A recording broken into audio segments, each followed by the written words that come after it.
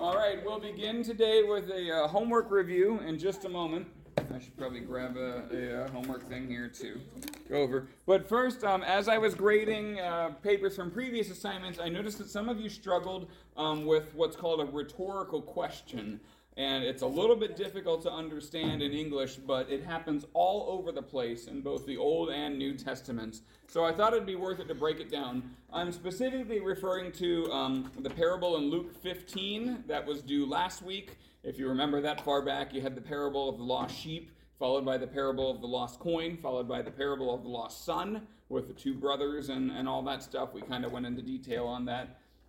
Um, and Jesus, uh, when he begins these, these, this series of parables, he says to the audience, he says, Which of you would not, I'm paraphrasing, but it's which of you would not go to find your lost sheep? Right? It's actually something like, Which one of you having 100 sheep, if uh, you lose one, would not leave the 99 in the open field and go search for the one that is lost? But essentially, he's saying, Which of you would not go find your lost sheep? And some of you thought that that's what Jesus was that Jesus was saying you would not go find your lost sheep, which I understand why you would think that because Jesus literally says you would not go find your lost sheep. Um, but this is in the context of a rhetorical question. And so, in asking which of you would not go find your lost sheep, he's actually saying, Of course, you would go find your lost sheep. This is such an obvious conclusion that I can phrase it as a question, and, uh, and the answer would be, well, of course I would go and look for the lost sheep. Um, in Minnesota, we have a similar question that gets asked a lot. Don't you know? Right? You if you yeah, if you if you say something obvious and then you end it with "Don't you know?" Uh, the question "Don't you know?" The obvious answer is, "Well, of course I know." um, because it's an obvious thing, you know. And and so uh, you know that's I guess uh, outside of Minnesota we just say you know, uh, but it's the same thing. It's a little rhetorical question that um, that it you know the answer is supposed to be obvious, but the Bible uses this sort of phrasing a lot, and it's um, it's it's supposed to emphasize the the hopefully obvious truth that's being stated there. But a lot of times it emphasizes that truth by negating it, by saying no when the answer is so obviously yes that um, you know the ridiculousness of the no is is supposed to highlight the obvious yes. So that probably just made it a bit more confusing, but I hope you can at least see this equation that's supposed to be an equal sign, this equation that I wrote on the board there. I'll leave that up as we go through our homework here. So, our homework for today, uh, we were reading various uh, accounts of Jesus performing miracles, and the first one comes from Luke chapter 17. So, if you had any questions on the homework or just want to follow the discussion, I encourage you to open your Bibles first to Luke chapter 17. Um, so that's where Jesus heals the ten lepers, right? And I give, I hope you read the little blurb I put there um, to give you some cultural context that um, people with leprosy, according to Jewish law, were ceremonially unclean. It's actually any skin condition that causes bleeding or oozing or something like that. Um, makes you ceremonially unclean. It's not a sinful state, um, but it is a hygiene issue. And the law says that if you um, have bodily fluid coming out of your skin, um, that you need to isolate yourself until um, until it stops. And then once it's stopped, you have to wait an extra seven days and then go through ceremonial washing and then be declared clean by a priest who was basically kind of like a de facto doctor in those days. So it was um, it was a matter of religious law and civil law, but it was also for the purpose of, um, of hygiene. And uh, of course, we uh, pandemic people know all about the value of quarantining. Uh, but if you have a condition like leprosy, that means you have constant, ongoing skin issues that will never be resolved. So, um, so you, as, in essence, are are um, doomed to a life of isolation and uh, you know being cut off from the rest of society. So having leprosy really really stinks. And uh, I just wanted to emphasize that in my little blurb that I wrote in the assignment, um, so that you can understand that these are not just guys who were healed of some little sickness. Uh, they were um, they were doomed to a miserable life. And uh, but of course, um, there were ten lepers healed in the story, and only one returned to thank Jesus. So we often read this story on Thanksgiving Day um, because it it, uh, it emphasizes how much Jesus values when we thank Him for all of the good things that He gives us. Um, but then a question that I see at least two of you have struggled with is uh, what made the thankful man well according to Jesus? And uh, always remember that the verbs in my questions are designed to match the verbs in the Bible. So if we read Luke 17, it's probably going to be verse 19 here. Um, yeah, and Jesus said to him, Rise and go, your faith has made you well. So, what made the thankful man well? Your faith has made you well. It's the same. Uh, same verb and adverb there. That was uh, actually it's an adjective. Whatever. Same verb. I try to match the wording of uh, the Bible as much as I can in my questions because what I value most is that you have actually read the Bible. And uh, so I, I, try to avoid questions with um, in depth comprehension. I just kind of want you to be able to prove to me that you've read your Bible.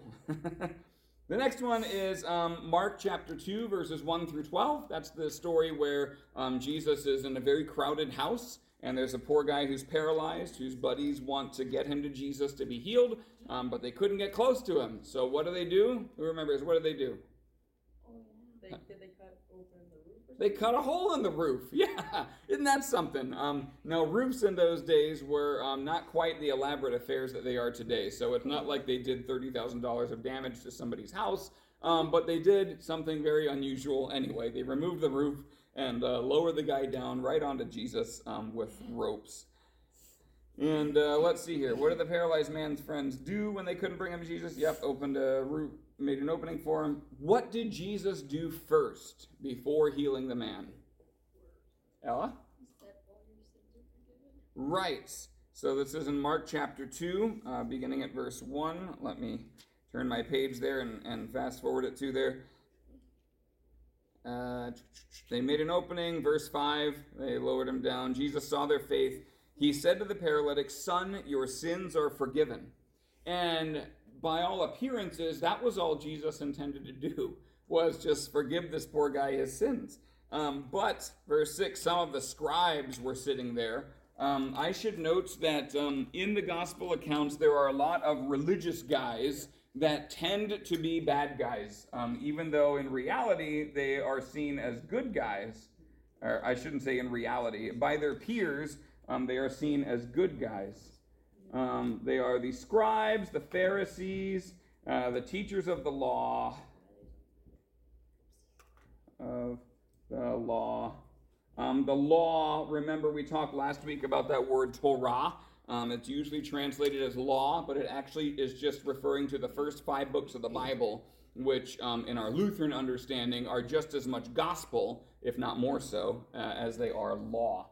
Um, but uh, but yeah, so teachers of the law would be like you know the people in church it's usually me who leads bible study. Um, but the people in church who, who uh, are authorized to lead bible study kind of like our elders um, but then also pharisees would be like that. Scribes are people who study the bible and copy the bible. Um, you remember they don't have copy machines in those days so if you want to disseminate the bible you have to do it by hand and if it is your job to copy the Bible by hand, you are going to naturally become very familiar with what it teaches. So the scribes have a lot of religious authority in Jesus' day. And so these are people who know God's word, who go to church every Sunday or every Saturday, as the case is with the Jews. Um, uh, they're good guys, and yet they are always butting heads with Jesus, it seems. And so also here, the scribes were sitting there questioning in their hearts, why does this man speak like that? He is blaspheming. Yeah.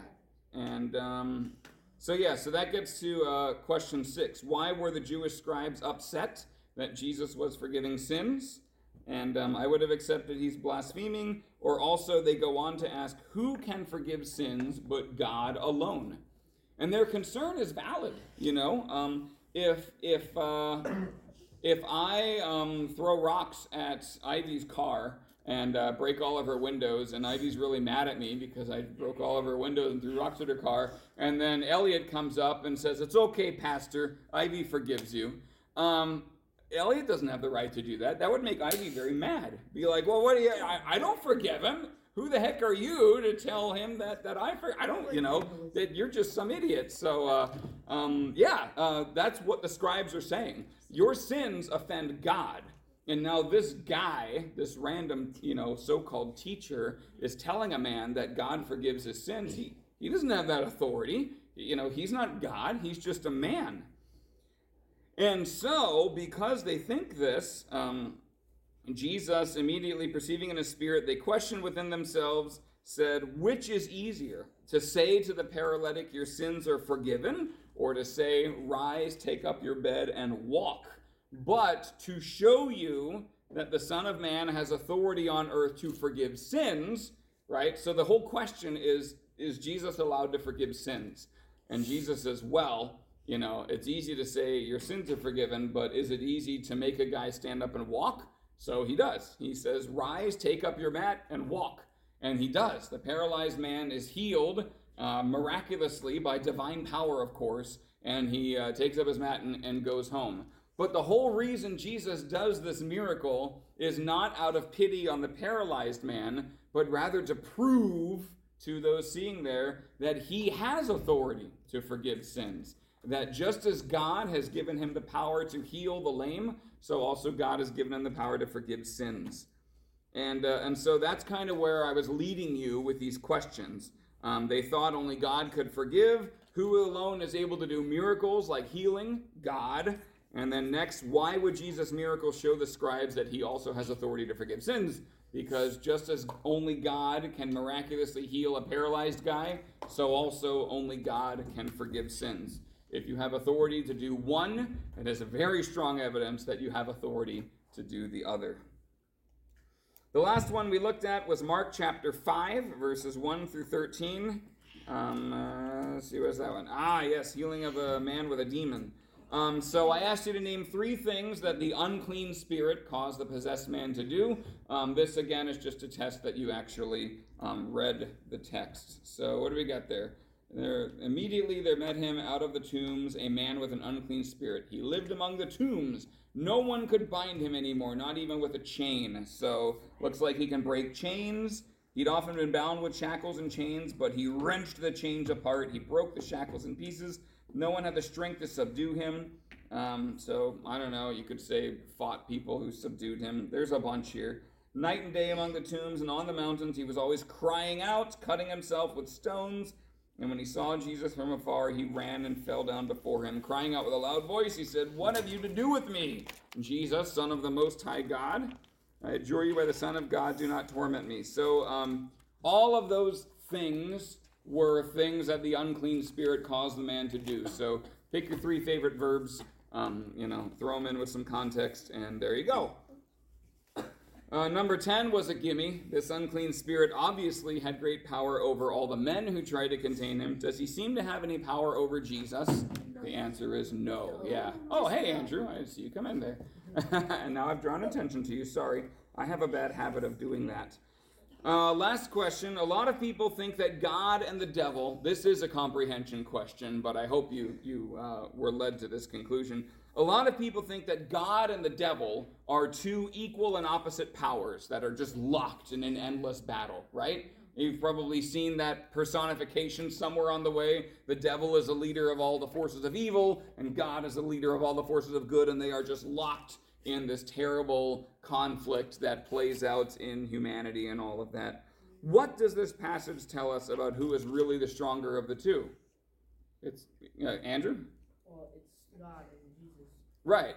Yeah, who are one and the same. Yeah, it's, it's uh, God the Father, God the Son. It's God is stronger. Uh, there's not even a question. As Martin Luther famously wrote, uh, the devil may be the devil, but he's God's devil. Um, so God, the devil does not get to do anything that God does not permit him to do. Now that opens up all kinds of philosophical questions that are a little bit beyond the scope of this course, which is just to um, learn what the Bible says. Uh, so I'm going to let that rest for now. Uh, we're going to talk next year for you who are going to be third year students.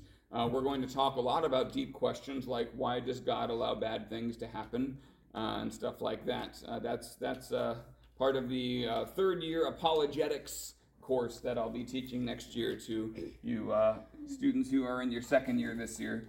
You guys who are in your first year this year get to learn Luther's Catechism next year. And then on the foundation of God's Word, the Bible, and Luther's Catechism, which is also basically founded on the Bible, uh, with that firm foundation, you will then be better equipped to answer the tough questions.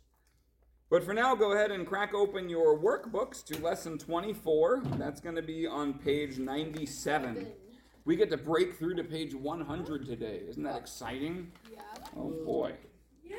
Yeah. So, um, and then uh, if you want to pull out your Bibles here, almost everything we discussed today is going to be from Luke chapter 22.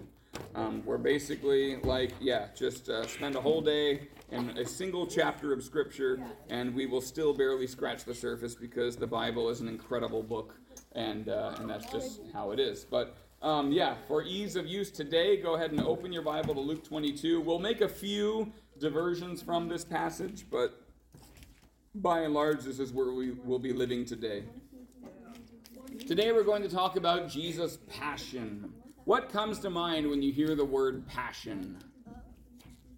Caring. Caring, okay? That's kind of compassion, which is obviously related, but yeah, passion.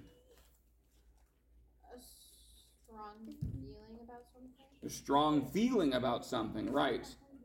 It's uh, frequently used in the realm of love and all of that, right? You feel a, a very, uh, you share a passionate kiss with someone you love. Um, you know, that's not that's not something that happens between a mother and a child. That's that's uh, in the throes of romance and all of that stuff that makes you kind of gag a little bit. Um, but uh, yeah, that's um, passion is a very very strong emotion. Um, so the week or so leading up to the crucifixion of Jesus is often called the Passion.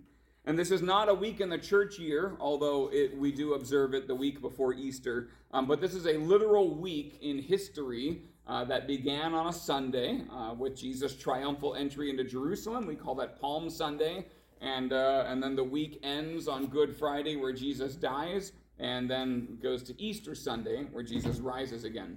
So that week from Palm Sunday to, um, to the death of Jesus on Good Friday is kind of collectively called Jesus' Passion. And although we use that word in a lot of different ways, it can be best defined as strong emotions. Good job, Addison.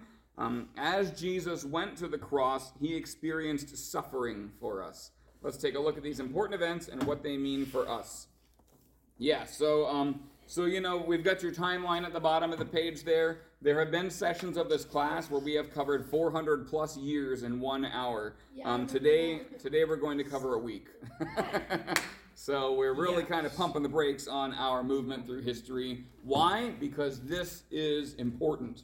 We are going to be spending three class sessions on Jesus' passion, death, and resurrection.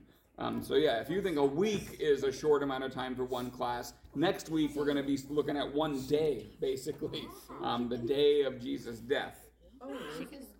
But for now, was that? Yeah, well, it's it's uh, pretty important there. I just had a realization I might not hit record. Nope, I hit record. Very good.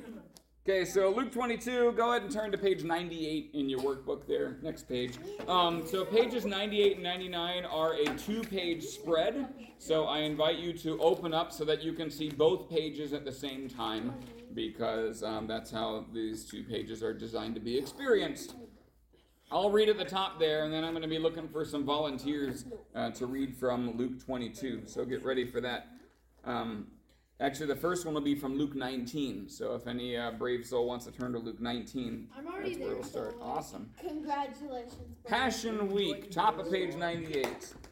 Um, the last week of Jesus' life, which Christians around the world remember as Passion Week, is really important to understanding the narrative of salvation. In it, we start to see how Jesus fulfills all of God's promises from the Old Testament and also how he sets up our lives as New Testament people today. For this lesson, we'll track some of the events in the last week of Jesus' life before his crucifixion by using a map of Jerusalem at the time. Now, that's kind of a fun way to do it. Um, that map is found at the top of page 99. So have a look at that. For this activity, follow the numbers on the map, starting with 1. Read and reflect on that event, and then trace a line on the map to the next number, following the path that Jesus and his disciples may have taken during this time. Now, there are like three or four days between one and two, uh, but you can draw a line from one to two anyway. That's uh, that's good enough. Oh wait, no, no. Uh, so anyway, uh, who can find the number one on the map? What is it next to? Golden Gate. The Golden Gate, yes, not not to be confused the Golden Gate Bridge in San Francisco. Um, and right next to the map, we have uh, item number one: Jesus enters Jerusalem. Note how the road there is kind of squiggly by the Golden Gate. Any idea why the road is uh, winding back and forth? Andrew? Because it's so like armies have to kind of like, like, it's not just a straight line to there, and so they don't like just get there faster. So you think there might be walls between the the squiggles Yeah, then, or something like that? Because I mean, the army's going to go across the lawn Yeah. if uh, if they want to get to the city. Yeah, that's a good guess. Um, the- and the the real reason is close to that. At least it's part of the reason why Jerusalem is such a well defended city. Um, that road is winding up a very steep hill. If you were to try to go straight up that hill, you would have to like climb with your hands and, and feet and stuff. Not a very good look for um, horses and wagons and you know uh, movement of goods. So instead, they have the road uh, wind slowly upward, back and forth, because that is uh, that's what's needed to get a, a cart up the hill there. So it does make it a very militarily defensible position, um, but it's not because of walls or keep off the grass. It's um, it's because Jerusalem, remember, is situated at the top of a mountain. Uh, the mountain is called Mount Zion. Specifically, the temple is at the tippy top of that mountain. And as you can see from the map there, um, the, the golden gate by which Jesus enters Jerusalem is right by the temple. So he's kind of coming in the steep way, if you will. Uh, hence the windingness. All right, uh, so looking at number one there, we're going to read from Luke 19 in just a moment. After Jesus raised Lazarus from the dead, you guys remember learning that last week, I hope? That was in John chapter 11. Um, there was a whole funeral, shortest verse in the Bible. Jesus wept, uh, etc. Um, after Jesus raised Lazarus from the dead, he entered in, into Jerusalem for the last time on Sunday, the first day of the week. Read or listen to Luke 20, or Luke 19, verse 28 to 40. In a few words or sketches, what would this scene have looked like? So, uh, Braden, are you ready to read for us? Luke, Luke 19, starting at verse 28. Uh, where do I go to? Um, to 40, I believe. Um, It's 12 verses. You can handle it. 13 verses, excuse me. You can still handle it. Go ahead. And when he had said these things, he went on ahead, going up to Jerusalem. When he drew near Beth, Bethphage. Beth, Or Bethphage, You can call it Bethphage, but a lot of people don't like that fog syllable, so you can call it Bethphage. Bethphage, and Bethany at the moment that is called Olivet. He sent the mount, that's called Olivet. Yep. He sent two of his disciples, saying, Go into the village in front of you, where on entering you will find a colt tied on which no one has ever sat. Oh my. Tie it and bring it here. If anyone asks you, Why are you untying it? you shall say this The Lord has need of it. So those who were sent went away. Went away. And, in fact, All right. they're laughing. Stop laughing, girl. She's doing a good not job. laughing. Yeah, you're not laughing now because I'm turned around. All right. Compose yourself, Braden. Go ahead. Deep breaths. No, Ella's laughing. Stop it. Read. Somebody else want to read? What verse did you end on? I don't even know. I 'cause I'm coloring pictures. Brandon, what here. verse are you on? On verse like 32. 32, I'll take it from there. So those who were sent went away and found it, just as he had told them. And as they were untying the colt, its owner said to them, Why are you untying the colt? And they said, The Lord has need of it. And they brought it to Jesus. And throwing their cloaks on the colt, they set Jesus on it. And as he rode along, they spread their cloaks on the road. As he was drawing near, already on the way down the Mount of Olives, The whole multitude of disciples began to rejoice and praise God with a loud voice for all the mighty works that they had seen, saying, Blessed is the King who comes in the name of the Lord, peace in heaven and glory in the highest. And some of the Pharisees in the crowd said to him, Teacher, rebuke your disciples. He answered, I tell you, if these were silent, the very stones would cry out. Very good. Okay, so um, so here's my best attempt at drawing the situation. Since I emphasized the topography, I figured I would make it there too. So they actually start off over here because outside of Jerusalem, at the end of Squiggly Road, there is a valley, and on the other side of that valley is a, a garden with a bunch of olive trees and such, and the mountain is called Olivet because of all of the olive trees on it. Um, we'll come back to that mountain. We're not done with it. Um, but Jesus starts off up there. He sends his disciples ahead. Says, "Hey, go get go get a donkey." Um, and uh, he might have he might have had some supernatural foresight of this, or he might have just made arrangements with a guy. Uh, the text isn't really clear. But the disciples go in. They find a donkey. They bring him back to Jesus, and Jesus comes riding into Jerusalem on this donkey. Um, who knows why it's significant that he was riding a donkey? Because it showed, uh, like, because he didn't come riding in on a fancy horse. It showed, like, um, word I'm looking for and I can't find my word. Am I on the right track at least? You're on the right track. Yeah, yeah. So there is a definite contrast of Jesus riding in on a donkey instead of on a horse. And the uh, the contrast is this: um, people, when a king is riding in to conquer a city, he rides in on a horse. Did you wet yourself? He rides. he- sorry. Go ahead. When a king is riding in to conquer a city, um, he rides in on a horse, right? That is a kind of a not so much a declaration of war, but a declaration of victory. But if a king enters a city on a donkey, donkeys are not tools of war. Donkeys are like they're beasts of burden. Um, that means you don't come for war, you come in peace. You come uh, perhaps for trade or, or just for travel or something. But, uh, but to enter on a donkey instead of a horse is sending a nonverbal message that, um, that I'm coming not to conquer Jerusalem, um, but uh, I come in peace. Andrew? Horses were like invented in like Mexico, and then they did. Did they have them back then? Um, they did. They had horses back then. Yeah, they're in the Old Testament all over. Um, they weren't invented in Mexico.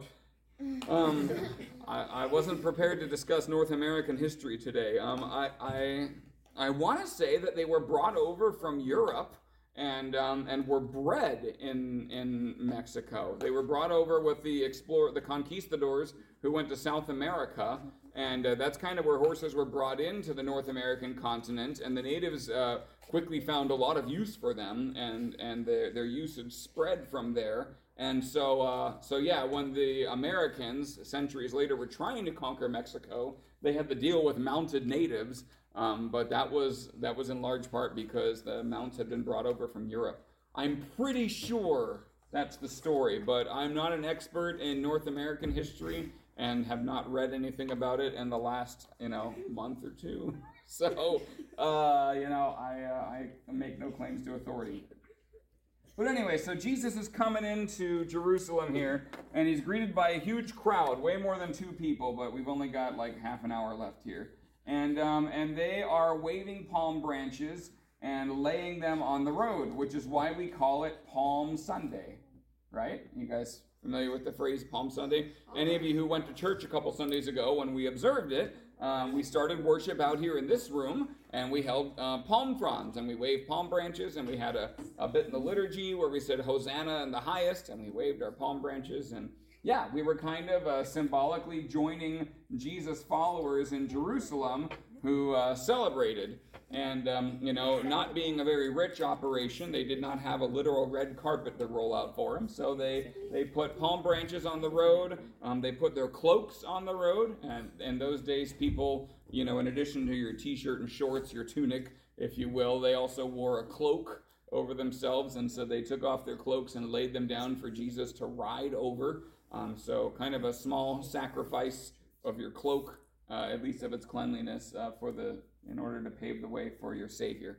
So Jesus had lots of followers, and they were very happy to see him. Elliot, So would like their cloak be like an equivalent to our modern sweatshirts that we wear? Um, I mean, it's a really warm country, so our sweatshirts are designed to keep us warm. Their cloaks are actually designed to protect them from the sun, and uh, and they're very um, what's the word I'm looking for? They they allow air to pass through. They breathe really well.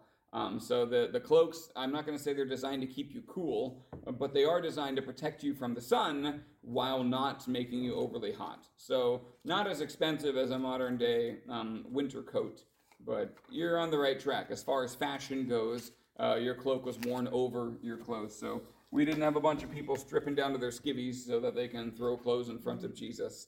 Um, that was just their their cloaks. Uh, let's see here.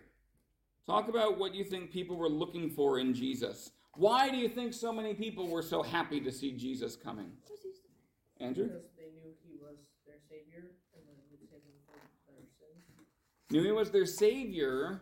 Yes, I'm not so sure about that second point that they knew he would save them from their sins. We'll come back to that. Isaac, you said something. Yeah, you were like, it's because he's awesome or something, but I didn't hear what you said.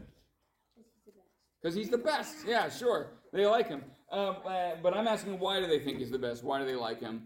Um, they do recognize him as a savior, but remember the political situation at this time. He's entering in a- into a city, the capital city of the Jews, but do the Jews actually own and rule the city?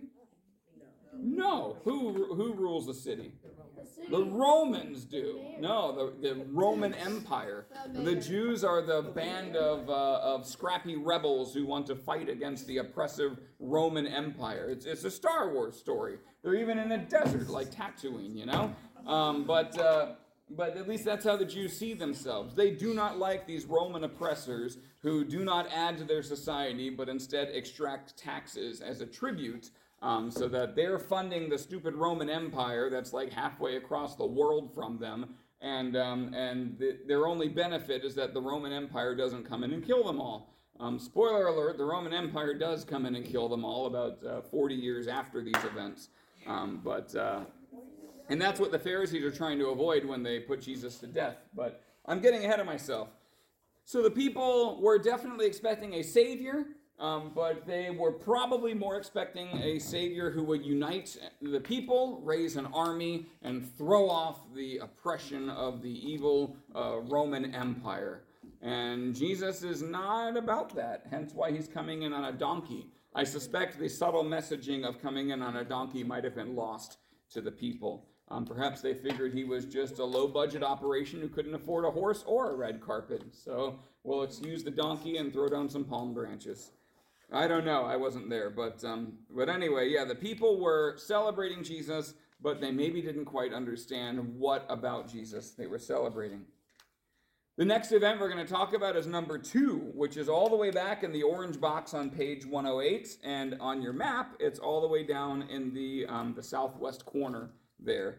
Actually, I'm not certain that the map is oriented where north is up. A lot of ancient maps were oriented where north, where um, where up is east, and uh, it's very hard to read a map that way when it's so ingrained in your head that up is north. I've tried. East, south, Wait, west, so it goes north? east, Yeah. south, north. Um, uh, well, it would it would be east is up South, and north west. is then. I mean, I don't know. Turn and face Yeah, east, and east, south, north is going to be on your west, left. west, and- north. north. East, south, Yeah. north, west. North is East, that south, way. Okay, west. Don't don't hurt yourselves. Just uh, North is find that way. find a compass rose on a map somewhere and turn your head sideways so that east is on top, and then take note of everything else. For goodness That's sake, north. don't try to do it here because South. Henning is crooked. Just sit down. The What's roads wrong? don't even go That is straight in north. Henning anyway. That is north. That weird crookedy under- road actually goes straight east west. So orient yourself I with that one. understand now. Sit down. You know that? That's All right. Number two, orange box, page 108. By Thursday, a lot had happened. Jesus had cleared the temple of money changers. That's a fun story that we don't get to talk about today. And he had spent a lot of time teaching. Uh oh, oh, I gotta get my gun out. Not number us. Ah, I heard a lot of noises. Someone's gonna get shot. Talk about grandpa. All right, anyway, she's talking about a grandpa. Was he at Palm Sunday? Yeah, well, then don't talk about him. I don't talk about I, it. I'd be careful, Pastor. All right, all right, all right, quiet down, quiet down. Honest By Thursday, a lot had happened. Jesus had cleared the temple of money changers, spent a lot of time teaching. He did not hang out in Jerusalem very often. Even though Jerusalem was the religious center of Israel, Jesus spent most of his time where? Somebody said it. Who said it? Galilee. Very good. Was that you, Tyson, who whispered it? Yeah. Very good, yeah. And I'm not going to draw the map, but you know the map that I like to draw with the, you know, the Jordan River and the Sea of Galilee and the Dead Sea and the Mediterranean, and all that. Yeah. So Galilee is like up here, and Jerusalem is like down That's what they here, and there's a whole country between them. Who remembers what that country's called? Uh, No. Nice try though. Yeah. The Assyrians. Nope. Jerusalem. Samaria. Samaria. In order for Jesus to travel from Galilee to Jerusalem, he would have to go through Samaria or go around Samaria. A lot of people hated Samaritans so much they did that. Um, but yeah, so you got Galilee, Samaria, Jerusalem, or Judea, excuse me, that's where Jerusalem was. Um, but yeah, Jesus spent most of his time up in Galilee, kind of up in the boonies. Um, that's kind of like uh, the Messiah of America coming and hanging out in Henning, Minnesota, and uh, only going to Washington, D.C. like once a year, you know, where the actual seat of, of power is. Um, but uh, yeah, just to give you some idea there, that's where Jesus hung out. But he was in Jerusalem for now. He spent a lot of time teaching at the temple. Um, he brings that up later at his trial. He's like, "I've been here all week, guys. I've been teaching in the temple. Why didn't you arrest me there if I'm if I'm such a bad guy?" But uh, yeah, by Thursday, though, a lot had happened. Thursday evening, Jesus had gone back to the upper room. Uh, that's where he ended up on Palm Sunday, and was going to celebrate the Passover feast with his disciples. What's the Passover feast? The Lord's The Lord's no. It is the Lord's Supper, but it wasn't until this time. But it existed for like 2,000 years, or 1,500 years. Wasn't it when um when they painted the the uh, sheep's blood on their door so the angel of death would pass over? Very good. Yep, that was the original oh. Passover. Was the tenth plague sent against Egypt when the Israelites were slaves there? God instructed the Israelites to slaughter a lamb and paint the lamb's blood on their doorposts, and then the angel of death would pass over the houses with lamb's blood on the doorposts and spare them from death. And so, by sacrificing a lamb to God and covering their home with its blood, not covering, but I'm, I'm going somewhere here. By sacrificing a lamb of God and painting its blood over your home, you would be saved from death. Does this imagery sound familiar? Yeah, that's basically Did we do this a that's basically the message of Jesus, isn't it? It's your homework for tonight. So if you've already done it, then um, good for you. Elliot. It had to be like a important lamb or like one of the best lambs that you had, right? Yes, it had to be an unblemished lamb. Um, taken uh, had to be a year old, I think, unblemished. So yeah, uh, God doesn't want your second best stuff. Um, if you have a lamb that is crippled or sick and you know it's going to die anyway, um, don't don't give that to God. God wants your best. Um, what if you didn't have like like a sheep or a lamb that was one year old? There's actually provisions for that um, i- in the Exodus account. If you if you're not from a family that farms or is rich and can't afford a lamb, then you are supposed to join with another household and either pool your resources or um, just share in their lamb. It was meant, and obviously implicit in this in that is that rich households need to be willing to open up to to less fortunate people. Um, but yeah, everybody uh, everybody's supposed to have a lamb sacrificed on their behalf. And uh, you know, there's a lot of blood in a lamb. You can paint quite a few doorposts with it, so uh, so you can you can still go home at after the feast. But anyway, um, they uh, yeah they kept this Passover feast in remembrance of that of that event for 1500 years, and it was time to celebrate it again. I mean, it was like it's literally like how we celebrate Easter. Um, so let's read or listen to Luke 22 verses 1 through 6. got this one. It says 1 through 3 there, but we're going to do 1 through 6. Go ahead, Braden. Luke 22, verses 1 through 6. No cracking up this time. Okay, I'm trying not to. Now the feast of unleavened, Unleavened bread, yep. unleavened bread drew near, which is called the Passover. And the chef priests and the Chief scribes- priests. chief priests and the scribes were seeking how to put him to death for the fear of the people. The s- s- Satan, then Satan, Satan, yep. then That's Satan. Satan entered into Judas called Iscariot. That's like his last name, Judas Iscariot. Iscariot, who was one who who was of the number of twelve. He went away and con- Conferred. conferred with the chief priests and officers how he might betray him to them. And they were glad and agreed him money. So he consented and sought an opportunity to betray him to them in ex- absence of the crowd. Very good. Um, so yeah, how? I bet you didn't expect Satan to enter the story here. How was Satan at work here to bring about the death of Jesus? Yeah. He was telling, uh, he was like gonna pay Judas to betray Jesus. Um, exact. Well, uh, he arranged. So in this, in the account, Jesus, or sorry, in the account, Satan enters Judas. So it's almost like demon possession, kind of. We don't know exactly how much influence Satan had over Judas. Um, Judas was not a very good guy even before this account. Um, but having entered Judas, G- Satan then gets Judas to crack a deal with the Jewish leaders, and they pay Judas. So Satan, you could say, arranges for Judas to get paid, um, but but really it's more like Judas arranges for Judas to get paid, and Satan just kind of pulls Judas's strings, or however you want to phrase it there, um, to to make that happen.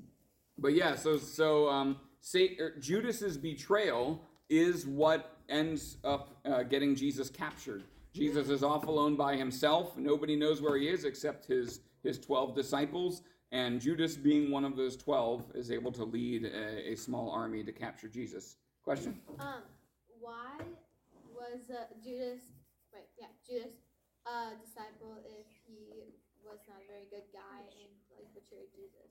Well, Jesus picked him. That's um, that's really the end of the story. Jesus didn't always pick good guys. He didn't pick the brightest, the best, the the most moral. Um, he didn't pick all the same kinds of guys either. Um, he had a lot of fishermen, so you kind of think that all of his disciples were fishermen, but they weren't. Uh, one of them was a tax collector, so he was kind of a sellout to the Roman Empire. Tax collectors were very unpopular. Uh, one of them was a zealot, which is like a Jewish revolutionary who is probably looking for a violent overthrow of the Roman government. Um, you know, that wasn't Jesus' purpose, but he called a guy named Simon the Zealot, and that's what the Zealots were. And so, uh, so among them, he called Judas Iscariot. Now, Jesus knew from the beginning that it would be by Judas that he would be betrayed, but it's got to be by somebody. You know, that's Jesus repeatedly refers to fulfilling all things. Um, the Old Testament prophesies that these things will happen to Jesus, and um, they got to be fulfilled by somebody. And so Judas is the one by whom uh, these things are fulfilled. That does not absolve him of guilt. Just because God uses your evil for good does not mean that your evil is somehow less evil. Um, and Judas gets what's coming to him, but we'll find that out later.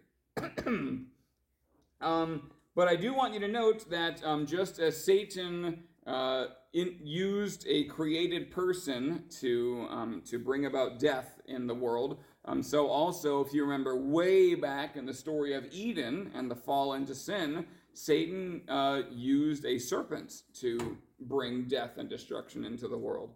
Um, so you know that's that's how Satan works. He he does his thing uh, to bring death and destruction, but that's always his goal.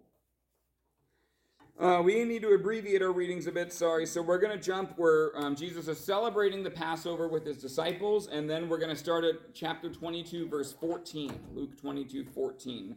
And we'll go through um, verse 23. So who wants to read Luke 22, 14 and 23? Andrew, I saw your hand first. Go ahead. And when the hour came, he reclined at table, and the apostles with him. And, and he said to them, I have earnestly decided to eat this Passover with you before I suffer. For I tell you, I will not eat it until it is fulfilled in the kingdom of God. And he took a cup, and when he had given thanks, he said, Take this and divide it among yourselves. For I tell you that from now on I will not drink the fruit of the vine until the kingdom of God comes. And he took bread, and when he had given thanks, he broke it and gave it to them, and saying, This is my body, which is given for you. Do, do this in remembrance of me. and likewise the cup after they had eaten, saying, This cup is poured out for you is the new covenant in my blood. But behold, the hand of him who betrays me is on the table. For the Son of Man goes as it has been determined, but woe to that man by whom he is betrayed. And mm-hmm. when and they began to question one another, which of them is it? Could it be who was going to do this? Very good. So Jesus does something kind of important there. Uh, what did Jesus do that is like really critical to our lives today in this passage? Andrew? Um, he said that the he said that the bread was his body and the wine was his blood. Yeah, he said the bread was. He said, "Take and eat. This is my body." Um, Luke doesn't record it quite the way we do it in church. There are four different accounts of Jesus instituting what we call the Last Supper, and um, and the one that we that we recite in church is the one that Paul gives in 1 Corinthians chapter 11. Um, but all four of them say the same basic thing. Jesus gives them bread, says, "This is my body." Uh, he gives them uh, wine, says, "This is my blood of the new covenant." Uh, Tyson. Are you gonna move the camera back? Yes. that Well, I was good. gonna I was gonna draw some pictures of the Last Supper, and then I realized that one of the most famous pictures ever drawn depicts the Last Supper. So I decided to point the camera over there to the thing. Um, you guys who are here should be the ones who care the least about where the camera's pointed, on account of you know you're here. I assume you don't watch these videos as a hobby on your own time. You do. You sure? You sure about that? Yeah, the YouTube channel has like five subscribers. One of them is my son. One of them was my son Teddy. Yeah, sure. If you want to subscribe, that would just make me all giddy inside. I, I subscribed. Um, anyway, um, fun fact though, they didn't use chairs in those days. Uh, people reclined at table. They would actually lie down on pillows and cushions and stuff.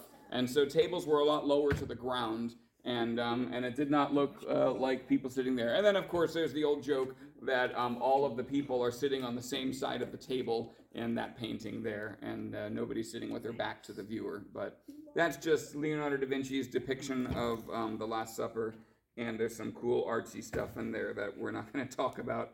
But yeah, so instead of drawing the Last Supper on the board, I let Leonardo da Vinci draw it for me, and he probably did a better job.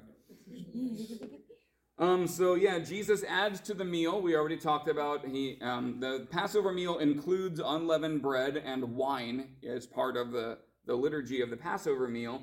Um, but Jesus adds to that uh, the words of institution, where he gives um, the sacrament of the altar uh, by uh, by saying, "Take, eat. This is my body. Take, drink. This is my blood." And um, and we don't have time to discuss the sacrament of the altar. That's a whole unit in uh, next year's confirmation class for those of you who are in your first year this year. Um, next year, you'll get to learn all about Holy Communion and uh, the forgiveness of sins that is offered to uh, those who take it. Uh, you second year students should have learned that last year. At the end of the meal, um, Jesus has an interaction with Peter. Uh, in the interest of time, we're not going to read it. Um, but basically, Jesus says that tonight all of you will abandon me. And Peter says something to the effect of, Not I, Lord. I would never abandon you. I would give my life for you. And Jesus famously says, Peter, by the time the rooster crows tonight, you will have denied me three times. And uh, Peter's not too thrilled to hear that, but uh, you know, is, you know, feels a bit deflated. But uh, we don't really know what Peter said in response to that. But uh, he probably uh, didn't think that was going to happen. But then, um, note number three there, the Garden of Gethsemane. Darn it, I erased my picture too soon. If you look on your map, you will find the Garden of Gethsemane um, outside of Jerusalem on what I assume is the east. I'm just going to call that the east. Um, I think that is actually right now that I look at it, because the temple, I think, is on the east side of Jerusalem. But in any case, um, you see the number three there, that, gar- that fancy word that starts with a G is called Gethsemane.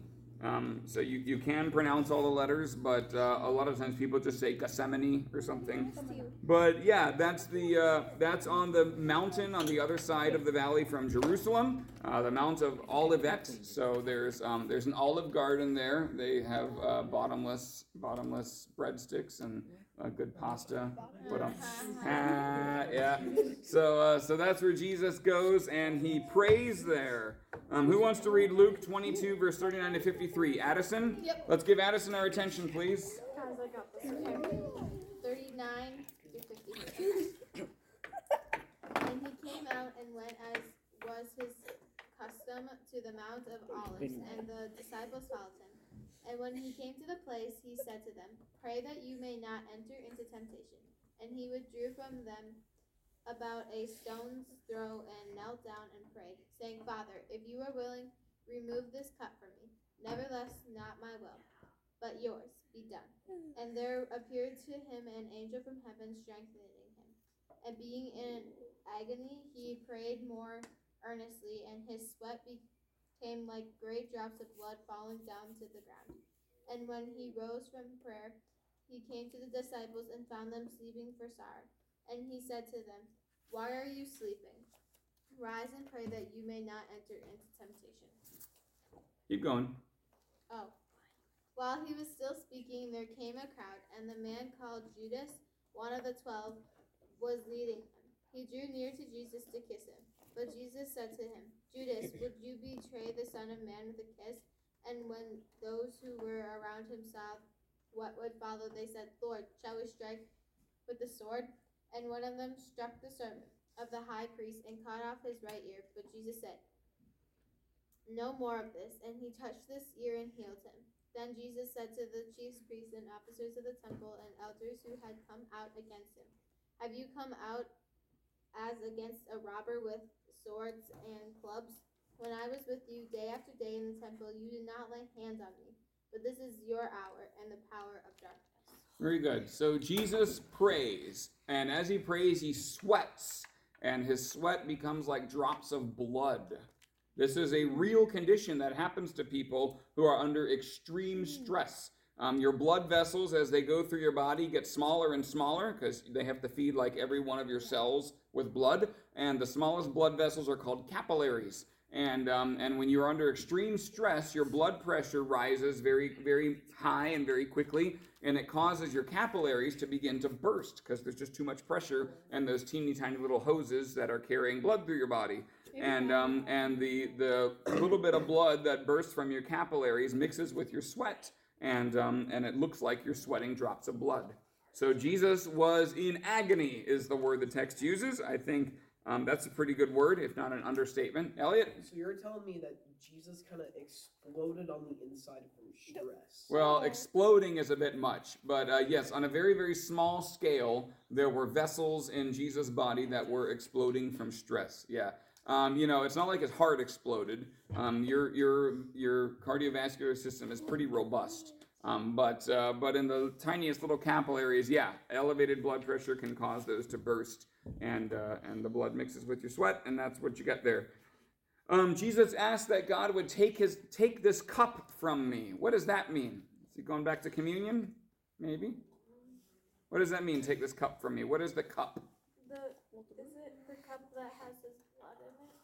You're kind of on the right track. Yeah. So it's not a direct reference to communion. Um, but it's not unrelated. Uh, Jesus frequently refers to his suffering as a cup that he must drink. Um, so if you imagine um, the wrath of God, the sins of the world, um, the the suffering of death, you know, in liquid form poured out into a cup, Jesus has to drink this cup until it is empty. So it's kind of a, a vivid image. Uh, it's not a literal cup um, but as a vivid image of what Jesus has to do. He has to take all of this into himself as like a drink, and um, and it will it will destroy him, and he knows this, and he doesn't want it to happen. So he prays that God would take this cup from him. Um, but he ends his prayer, as all of our prayers should end, in submission to God's will. And that's your memory verse. I, I used a different translation because it's easier to understand. Um, but Jesus prayed, Father, if you are willing, take this cup from me, yet not my will, but yours be done. So Jesus says, God, this is what I want, um, but I'm not here for what I want. I'm here to serve you. So um, not my will, but thine be done. Very good. Naturally, we're um, getting close to out of time, so we're not going to get to read directly anymore. But um, number four uh, takes place that night. So uh, it's on Monday, Thursday, we call it. Don't put your stuff away. We got five minutes. Um, okay, well, On we call it Monday, Thursday uh, is when Jesus institutes Holy Communion, and he goes out to pray that night in the garden, and it's probably right around midnight where he is captured by Judas and his his gang, and is brought to um, is brought to the uh, the the Sanhedrin Council. Um, the Sanhedrin is the fancy name given to the governors of the Jewish temple faith in Jerusalem. Um, they didn't own the city, right? The Romans did, but they still kind of had their own little system of government. It was limited, which frustrated them a lot. Um, but they did have uh, soldiers in the temple, so like they actually had the ability to use force to an extent, kind of a private security uh, kind of thing. And anyway, the Jewish uh, leaders um, have a, a trial by night, which is actually against Old Testament law, but they do it anyway. They have a trial wherein they accuse Jesus of blasphemy, that is, of disrespecting the things of God, and they find him guilty of blasphemy, that he claims to be the Son of God, and yet he's obviously just a man. And, um, and what they're really afraid of is that he is going to get a following and raise an army and try to oppose Rome, and Rome will utterly destroy them, right? Um, and so the, the Jewish leaders don't like how little power they have under Rome, but they're afraid that if Jesus raises an army, that Rome is going to come and crush them and take away what little power they have. And they're right. Um, it do, it's not Jesus who does it, but it's only another 40 years, and there is an uprising in Israel, and the Romans come, Romans come and just uh, destroy the city of Jerusalem, uh, destroy the temple, and scatter the Jews living there. But anyway, um, so the uh, the Pharisees and uh, the, the, the Sanhedrin, the ruling council, rules that Jesus is guilty of blasphemy and he must die. Problem: they're not allowed to kill people. Um, I said they have limited power under the Roman government, and it turns out the death penalty is something that the Roman government reserves for itself. So, in order to do the death penalty against this blasphemer, the Jews have to um, have to get approval from the Roman governor. Who knows the name of the Roman governor? Pontius Pilate. Pontius Pilate. That's right. That's why in our creed we say Jesus suffered under Pontius Pilate um, to link him to a, a, uh, a historical figure um, who actually, Pontius Pilate um, was probably not too thrilled at being woken up at 2 in the morning uh, to deal with uh, some religious dispute. Um, but he hears their case. Um, he hears Jesus. He thinks Jesus might be a little wonky as a like a religious guy, but he's not dangerous. He's not promoting violence or or throwing off Roman oppression. Um, you know, he calls himself the king of the Jews, but he says, My kingdom is not of this world. So Pilate is like, Look, guys, I mean, I know you're not a big fan, but I find nothing wrong with him. I don't think we should execute him. Um, but the, the Sanhedrin and the leaders of the Jews, they're stirring up a mob, and, and um, you know, by now the sun is breaking, and there's a growing crowd demanding that Jesus, this rabble rouser, be crucified. And eventually, um, Pontius Pilate gets kind of scared of the crowd, and he ceremonially washes his hands in front of them, which is to say, I am innocent of this man's blood. My hands are clean, but you do what you want with him. And uh, so he, he authorized the execution of Jesus by crucifixion. So, um, so let's see here. Actually, yeah, that. Um, oh, there is one other thing. Number four there is um, uh, while Jesus is undergoing this trial, it's inside of a building. Peter, uh, the, the most of the disciples have run away from Jesus after he was captured in the garden. Peter actually follows Jesus at a distance, and when Jesus goes into the building, Peter sits down with a group of servants and such uh, who are warming themselves by a fire. And it is there by that fire that somebody recognizes him and it says, Hey, you were one of the guys in the garden with Jesus. And Peter, scared for his life, um, his whole world is turning upside down. Peter says, No, I wasn't. I don't even know the guy.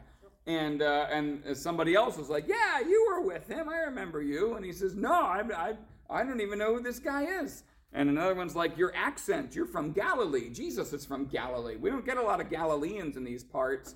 And uh, at that point, Peter starts to curse and swear. And he's like, Oh, I swear, I don't know this guy at all. And uh, that's when the rooster crows. And, uh, and very dramatically, Jesus is taken out of the building about that time and he makes eye contact with Peter. And Peter realizes what he has just done and he leaves in, um, in, in he leaves weeping. He's just, uh, yeah, mortified at his own evil. Judas also is mortified at his own evil. Um, apparently, he didn't think this whole selling out the Savior thing through. Um, but Jesus, or uh, excuse me, I keep saying Jesus. Judas um, actually commits suicide in his guilt. Yeah. So Peter holds out for forgiveness and is eventually forgiven by Jesus and reinstated as his, as his disciple. Um, there was similar hope for Judas if he would have uh, held out for it, but he despaired uh, and uh, despaired even of his own life. So that is a, a tragedy there in Judas. But we will go ahead and end today with Jesus being declared innocent by Pilate, and yet uh, Pilate ultimately authorizing the Jews to uh, to crucify Jesus. Uh, let's close with prayer, and then uh, I'll uh, go over there and pass out graded papers. Uh, we pray together Luther's evening prayer. I thank you, my heavenly Father, through Jesus Christ, your dear Son, that you have graciously kept me this day. And I pray that you would forgive me all of my sins where I have done wrong, and graciously keep me this night. For into your hands I commend myself, my body and soul, and all things. Let your holy angel be with me, that the evil foe may have no power over me. Amen. All right, your homework is over there, as are some graded papers, so uh, make your way.